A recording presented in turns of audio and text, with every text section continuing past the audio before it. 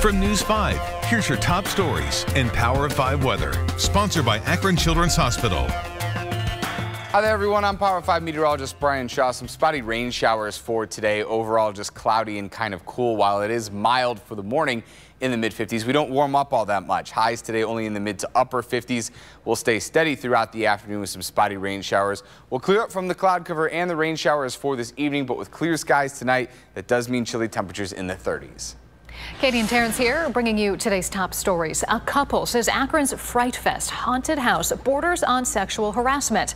Now, the man says an actor shoved him onto a bed and pretended to rape him. Others on Facebook have shared similar experiences. The manager has not responded to our request for a comment, but did post on social media saying the issue was resolved. Tonight's uh, Pitbull Advocacy Group will be at Parma City Council meeting. They want a decades-old ban against the dog breed reversed. Uh, the mayor is encouraging them to collect enough signatures to put the issue on the ballot. And today is the second reading of a bill to reverse the ban on panhandling in Summit County. The ban started five years ago, but a ruling from a Supreme Court says panhandling is protected speech, making a ban unconstitutional. Check back later tonight for another update and download the News 5 app for breaking news and alerts. Have a marvelous Monday.